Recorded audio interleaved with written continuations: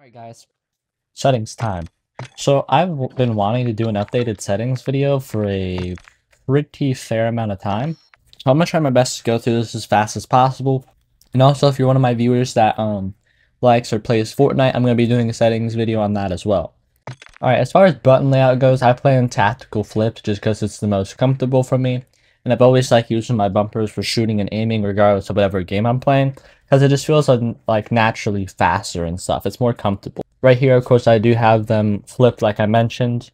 Stick layouts default, I have vibrations off just because I don't like vibrations. I mean, if you do like them, of course, you can have them on, but I feel like they just get in my way most of the time. They're super irritating. My trigger effect is also off. As far as dead zones go, these are my dead zones and stuff though, guys. Um, these might be different for you because, of course, if you have an older controller than me, it's most likely going to have more drift since it's worn out more. But what you want to do is you want to go in here and turn the test stick dead zone on. And if these are like moving and stuff, or if you see those percentages kind of like bobbing up and down like that one on the left right now, this is honestly perfect because I can show you guys an example.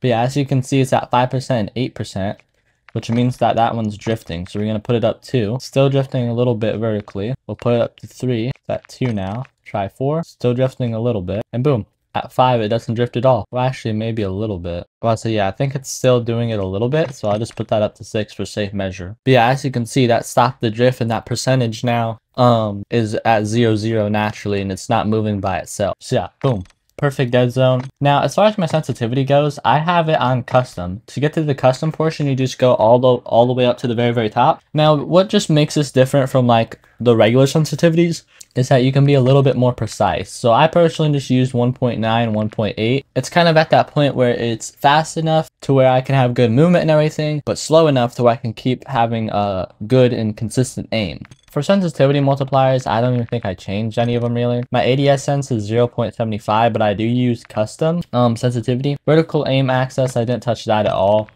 Tactical stance sensitivity multiplier is still at 1.0. And for my um, aim response curve, I use dynamic, but I have my curve slope at 50 because it makes it feel like uh, old Warzone in a way with the um the slope and how it feels like and everything. That and it kind of makes your aim a bit more sticky. Um, but yeah, this is on 1.0. That's instant. Now I do have custom sensitivity per zoom on, like I mentioned. Um, my low zoom in two to three times is 0.75. Then everything after that is just 0.65, so I can have a tiny bit slower on my um snipers to have them stick a bit more so I can kind of have it help with lining up a headshot.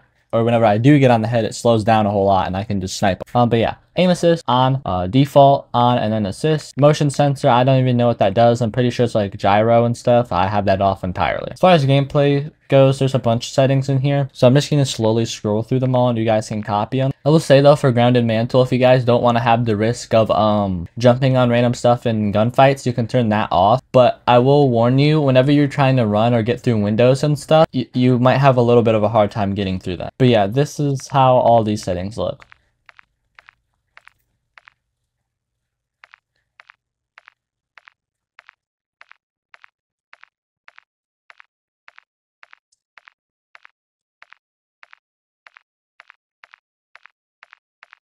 So yeah, those are all those. As far as graphics go, I have on-demand texture streaming off because this can commonly make you lag and the whole entire time while you're playing it's going to be downloading your textures from the internet which can probably spark your latency up a good bit. After that for motion blur and film grain and all that other crap I have that off but I do have fidelity um, cast on just for the sharpness um, and make the game look more sharp and clear. For my eco mode thing, I just have it on efficiency. I don't really know what that does, but it hasn't caused me any issues so far, so I'm just going to leave it as that. I do have a 120 hertz monitor or one that supports 120 hertz, so I have that on. If you don't have one, I suggest getting one because this makes your game um feel so so much more smooth. And I'm pretty sure it allows you to have access to 120 FPS. My field of view is also on 120 and it's affected with the wide weapon field of view. This just allows you to see the most and have the uh, lowest amount of visual recoil. Third person is at 90 and then both of the uh, camera movement settings are at 50 or just the lowest to where your camera doesn't shake a whole lot. I do have inverted flashbang on because the white flashbang of course is a little over the top for me. All the rest of this doesn't really matter. I mean, I do have HDR on because it of course makes your game clearer, but depending on what monitor you, uh, monitor you have, that's going to change. And as far as uh, safe area goes, I just have mine closed in as much as possible. I might push it out some, or I'll try pushing it out some, and we'll see how that looks maybe in future videos and stuff. But I mainly just keep it fully enclosed. For audio mix, I have it on headphones and stuff. Speaker configuration is on stereo, but I probably will put it to 7.1.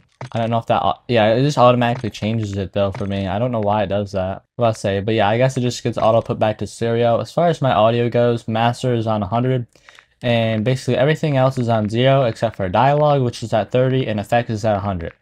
So I don't have any music or anything playing in my ear while I'm trying to uh, listen for enemies. Voice chat volume is just at 20 because a lot of people I ran into have a lot of uh have very very loud microphones. And if I'm using my earbuds and stuff like that I don't want to blow an eardrum. So yeah I have that at 20 voice chat and everything. I didn't really change all too much. These are kind of all just preference. So if you guys do want to copy these I mean you can but it might be a bit different for you. I don't have subtitles on at all I just have them on default so it's only in the campaign because of course that's the only time I really care about subtitles but yeah, mono audio and all this other stuff is isn't too important. It is preference, but I do have reduced uh, the tinnitus sound down because it's just a very annoying sound, and I hate ringing in my ears. So I have that on. Juggernaut music is on because it's cool. War tracks and all that crap is off because I don't want the extra noise. And hit marker sounds are just on classic. As far as interface goes, there's subtitles again. They're all on default. My color customization though is a bit different. I have my enemy color on this, but I will recommend the best enemy color is lime green because it just stands out the most on the map. And as far as um, color filters go, I've used filter 2 and um, filter 3, I'm pretty sure.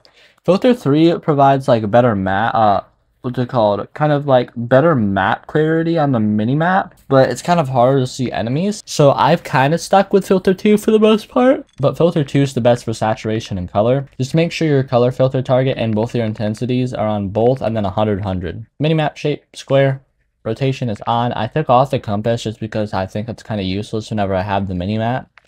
Um, crosshairs though, I have the center dot on and the center dot scale is at the largest. This kind of just helps with centering and everything. Hit marker visuals are on. Damage based hit marks are also on. Player names is full. And then I have text chat and everything else on. Same with the stamina bar. But I say all these are kind of just preference. You guys can copy them. But that's basically kind of all my Warzone settings. So if you guys did enjoy this video and everything, um, don't forget to like, subscribe, turn on post notifications. Also, if you're new, you can join the channel as a member for only $3 a month. You'll be able to see all my videos and everything, hours, days, possibly even weeks before anybody else on the channel. Um, but yeah, that's all I have, guys. I'll see you in the next video.